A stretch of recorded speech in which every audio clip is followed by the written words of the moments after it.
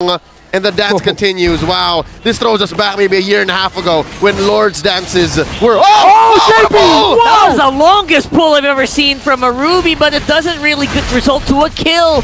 Sanford's here. He has And the the final slash still. Gem is surviving. I don't know how. Escalera, one man Ready. explosion. Basically just gives it over. And now it's King Kong going in for the run. cleanup. Oh, Saki! Going for a very, very low HP. Members of Echo gets taken out by Carl Teasy. Nice response from Echo. Oh no, they're not done. No! Kendra gets two. The shutdown on the Carl. This might be it! The minions are coming in! It's too long for the members of Echo to come back, and Onik might actually end week four on top of the mountain! up to Sanford. knows this too well. They know the call. It's endable. They missed the minions! He missed one minion, and that might be it. Oh, they're going for the throat. And they come out on top with a 2-0. Back to back. Saturday, Sunday. Onyx have swept not just the M5 World Champions. Here tonight, they swept the M4 World Champions, and they're ending week four on top. From undesirable to unquestionable, Onyx PH is the top team in the Philippines at the Ladies and gentlemen, let's go throw over to the stage and hear from the Super Fam. They're with Hans and Mara for their victory speech. It's an interview. My gosh, Onyx, everybody, can we just give them a big round of applause? Congratulations! It was such an incredible performance galing sa Sonics and you know, friends, I think they deserve mong makuha yung flowers in this performance kasi ang tindi ng ipinakita mo going up against Echo, yung diversion play mo kanina. Paano mo ba siya ginagawa? Kailan ba yung tamang time na magpunta sa one lane from another? Paano mo siya tinatansya? Bawal sabihin. Sabi ni Coach Etomak. Oo, okay. Y- yun lang gusto sabihin. Bawal, bawal daw sabihin kasi bilin yon ni Coach Etomac. So, talk to me na lang about yung tiwala sa'yo ng mga coaches. Paano ka ba nila minomotivate to just do your plays? Paano ba ginagawa?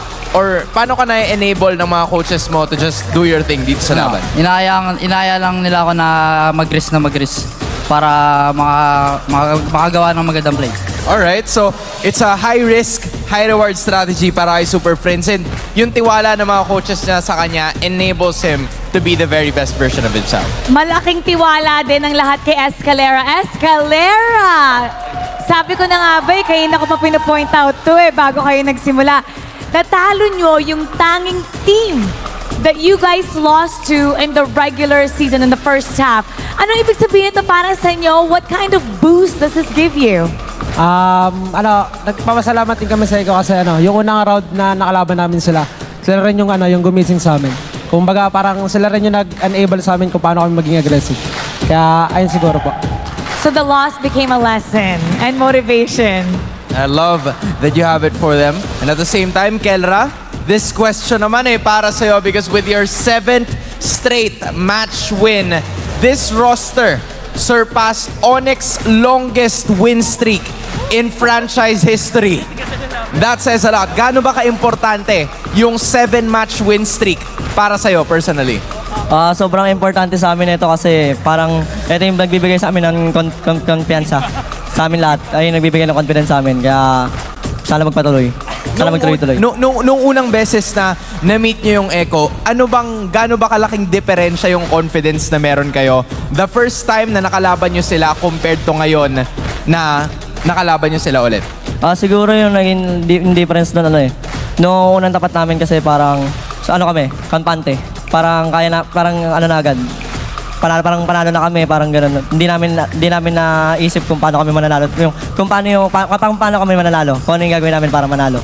Ganun siguro. Tapos ngayon kasi mas ano eh, mas ano kami, parang relax lang. Ka- Kalmado, tapos ina-enjoy lang namin yung laro. Parang relax, parang kalmado. Pero wait, I have to point out, hindi niyo siya nakikita. Parang ang hindi pa relax, ang hindi pa kalmado, si Coach Why Not, hindi niyo siya nakikita. Pero kanina pa siya ganto ng ganto. Parang tense na tense pa rin siya, catching his breath. Coach, nanalo kayo! What's going on? Hindi, ano eh, sobrang surreal kasi nung pakiramdam eh. I mean, um, yun nga, sinasabi ko sa mga tao, bagong buo, may ano pa yan. Pero kasi binuo yung team na to hindi para season 14, season 15 eh. Binuo tong team na to para manalo season 13 eh. So nakakatawa na pinapakita ng mga players eh. you, you could just tell how happy, emotional he is. Kasi kahit ini-interview ka, nanginginig yung boses mo. Alam ko, tuwang-tuwa ka. And as a coach, you must be so proud. Job well done to you also because you guys are doing everything correctly and napaka-solid ng team mo. So good job to you, Coach. Why not? Coach Atumax, good job. Good job sa inyo. Pero ito ang MVP natin is Calra for game number two. Si Calra nagsalita na. Ikaw naman, comment ka naman tungkol. Ikaw naman mag-comment tungkol kay Calra. Ano?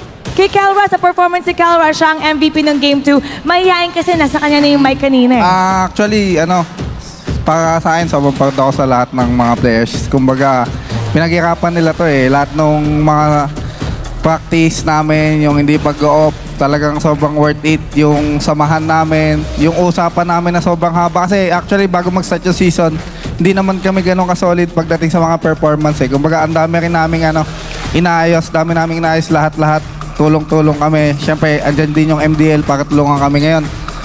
Ah, na, sobrang nakaka-proud lang kasi first time, actually sa buong career ko, first time lang. Parang tinalo namin lahat ng ano, nakaka-proud, sobra. And as of now, Onyx is in